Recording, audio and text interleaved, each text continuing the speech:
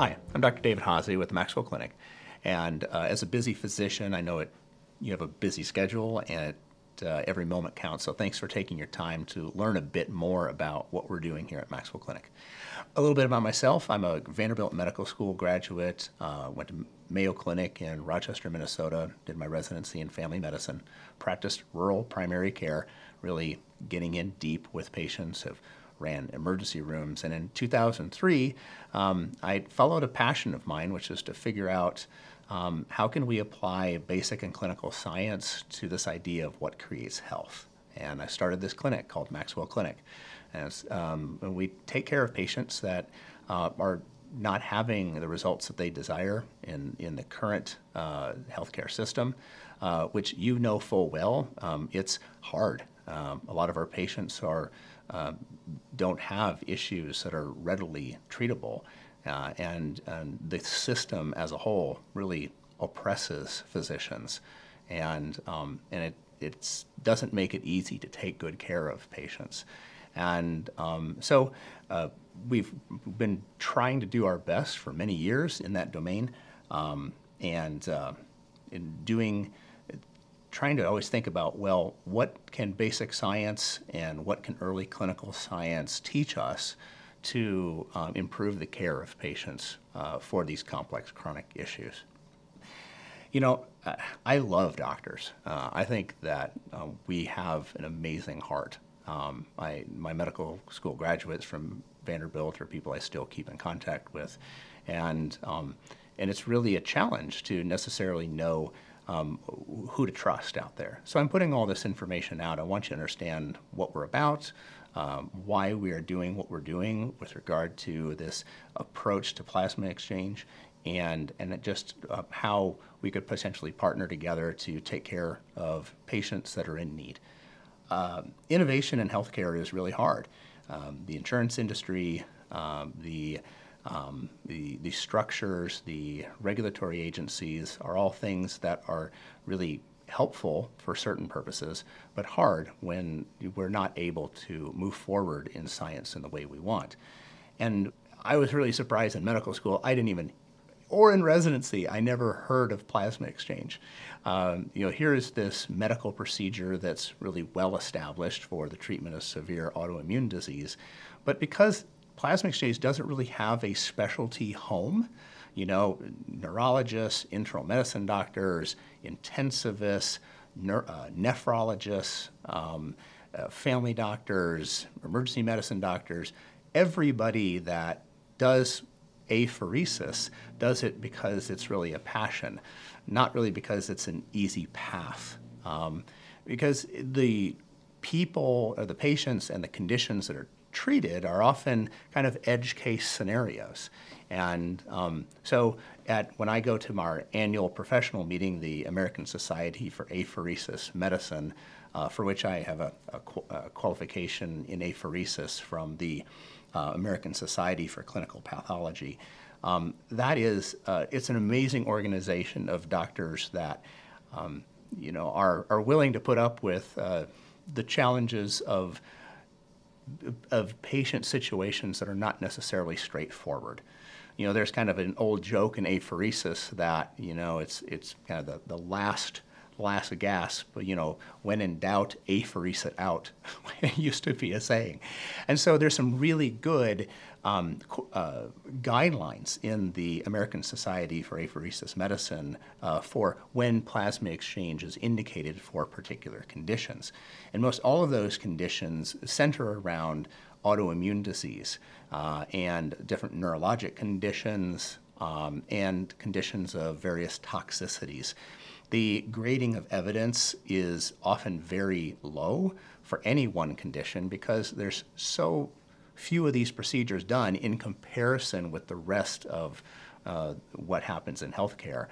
And, and so um, this has always been a field that's challenging to study because we're treating sometimes the sickest of the sick, uh, and uh, we don't have a lot of data uh, for some conditions. But we are getting better and better at that, and I love my colleagues in apheresis medicine. Um, so here at Maxwell Clinic, we're filling a need for the outpatient availability of therapeutic plasma exchange uh, for the treatment of autoimmune disease that uh, doesn't have a home, or a patient can't find a, a care provider for those conditions. Uh, and then also moving f- the science forward with regard to its application in the treatment of neurodegenerative disease, uh, as well as its potential benefit for promoting longevity. And so um, here at Maxwell Clinic, we have right um, four IRB approved trials uh, going currently with regard to plasma exchange and its various applications. Uh, we've run an amazing study. We're very excited about a, a, publication coming out on the advanced understanding of plasma exchange as it actually reverses markers of aging, uh, where we did large scale single cell transcriptomics, metabolomics, proteomics, cognitive testing, um, you know, various measurements of uh, physiologic function uh, to see how do we nudge those factors. But I believe that it's very important to over-determine safety whenever one's doing medical procedures. And there are many factors that can be optimized to improve safety. Uh, we've been trying, at Maxwell Clinic, we've been trying to take this into account, and we call what we do habitat optimizing plasma exchange. And the habitat is the clinical habitat that you're in, you know, um, how are we going to, first of all, get access? Uh, we make every effort possible of getting peripheral venous access rather than central access, and that immediately uh, decreases the likelihood of severe adverse events with regard to plasma exchange. And we also do uh, a high degree of customization for each individual person that we would recognize what are the things that may need to be added in for their particular care. Um, how do we uh, especially track that individual through the course of time? We have protocols in place where we do extensive testing, where we understand better how what may need to be added in, not just what needs to be taken away. Um, we're very proud of the you know unique way that we're doing this, and we're applying ourselves to uh, research and publish these results so that the field can continue to get better and that we can make this more available to many people across the world. The thing that really pushed me into saying, no, we need to make this available, we need to make this more available, was the AMBAR trial. The AMBAR trial, you probably didn't hear of it because it didn't get any press. It happened, it was released in July of 2020 at the height of the COVID pandemic. Everybody was locked down and thinking about something very different than, than uh, the application of plasma exchange for the treatment of Alzheimer's disease. But the AMBAR trial is a remarkable study, and we have a whole bunch of resources listed below on this page for you uh, to dive in more deeply in this area. So some of the some of the findings we're taking a look at the PET scans of individuals who are in the treatment arm versus placebo arm and seeing that there was less metabolic degeneration in the individuals that were in the treatment arm.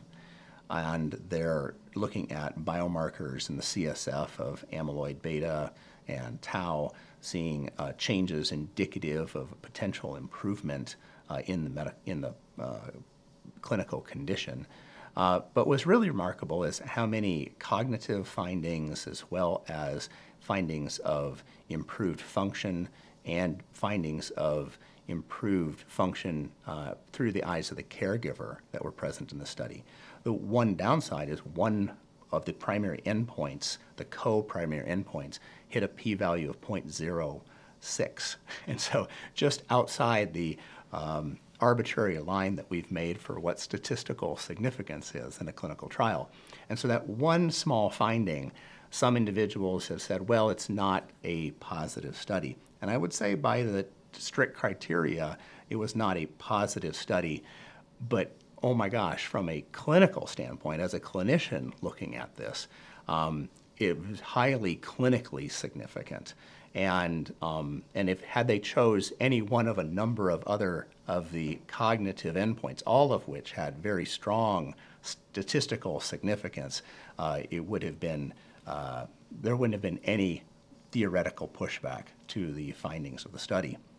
I think it's a very strong study. And it has actually been supported by observational data that has been accumulated since that time uh, by the ACE Center uh, in Barcelona, Spain, um, who have really has been spearheading this entire effort.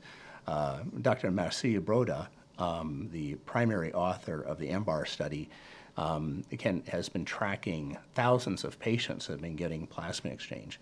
And in their longitudinal findings, they recognize that uh, individuals with Alzheimer's disease that receive regular plasma exchange, uh, nearly 70% of those individuals uh, do not progress. Um, now, there is uh, another 30% that do. Uh, but it's a really quite remarkable finding to see the, um, the community based care of individuals with really substantial Alzheimer's disease improve. I also became very interested in the mechanism of why this must be occurring. And if we come back to basic science and we start to understand progenitor cell behavior, um, you know, we have tissue based progenitor cells everywhere in the body that do the work of healing. And what's easily seen in laboratory animals and in, in uh, bench science is that if you put a progenitor cell or a stem cell in an old environment, it will behave old. If you take a old progenitor cell and put it into a clean or a young environment, it will behave young. The habitat of the cell is really where it's at. And uh, we also know that you know the habitats our patients are in determine their outcome uh, or in their progression or the development of disease substantially. So too is it with cells.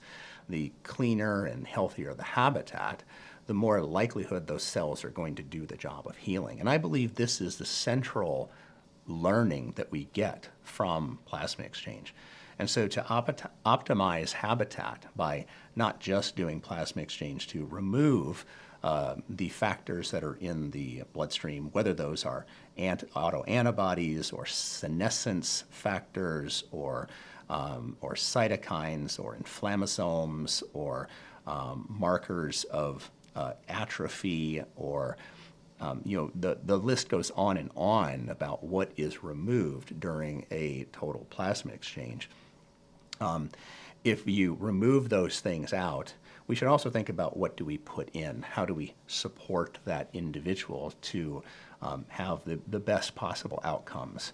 Uh, that can include such, you know, putting in things such as calcium to decrease the likelihood of hypocalcemia during the event, um, and a multitude of other factors depending upon that person's clinical situation. I'm very passionate about this. I think this is a field that is going to be growing and I really and, and I really want to thank all of you that have already sent patients to us for uh, to be able to share in their care. Uh, we really take that as a deep honor and um, and recognize that you're you know, doing the very best to bring the new science and techniques to your patients. Um, but interestingly enough, the American Society for Apheresis Medicine um, is publishing recommendations for the use of apheresis in the treatment of Alzheimer's disease um, that puts this into a category of uh, clinician um, judgment, and um, which is it's anyway, it's very, very interesting. I've gotten to sit with many of the heads of apheresis from multiple institutions from across the world, and um, everybody is in this very strong agreement of the importance of this therapy as we start to do everything possible to reverse the course of severe neurodegenerative disease. Anyway, it's really an exciting time.